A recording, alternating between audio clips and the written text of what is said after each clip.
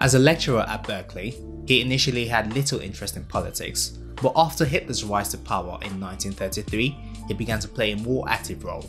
His anger at the treatment of Jews in Germany and the impact of economic insecurity would lead him to be active in a number of front causes, even though he was never a member of the Communist Party. For example, he supported refugees fleeing the Nazi regime, who were often academics like himself.